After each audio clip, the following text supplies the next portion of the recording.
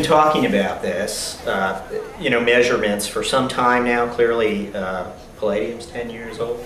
Um, but what's happened over the last two years? It seems to be suddenly companies are finally saying, you know, how do I manage this better? Uh, why? What's going on? What's happened over the last 24 months?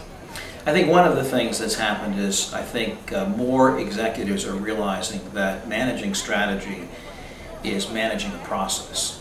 It isn't a document or a statement of direction that one does and then puts on the shelf. It has to be formulated at the top, executed from the bottom, and lived every day. And that really requires to understand strategy as a process, which really requires a management system. Things like the balanced scorecard are tools. What's really critical, though, is understanding strategy as a closed loop process where you test and adapt that strategy to the reality of what's happening in the marketplace.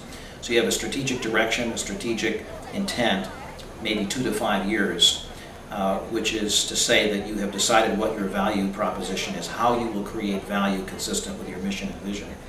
And then the execution part, those initiatives, those action plans, are how you execute on a daily basis.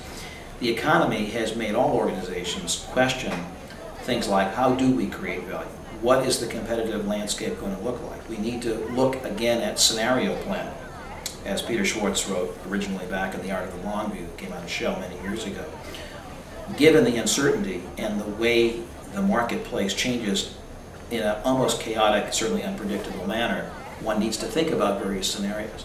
Given those scenarios, though, what will be our response?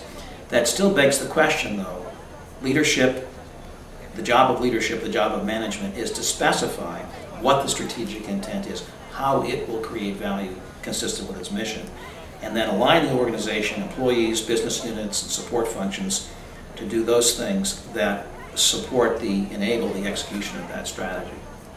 Rob Howie, thanks for sitting down with us. Jack, thank you very much. Great to be here.